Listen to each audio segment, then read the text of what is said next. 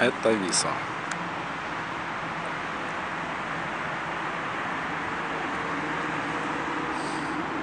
И она очень-очень грязная. Поэтому в ней не купаются. Посмотрите на эту пенку. Ну и запах такой немножко специфический. Польша очень много пляжей на ней. Ну, это не с той стороны. Но в ней никто не покупается, только загорает.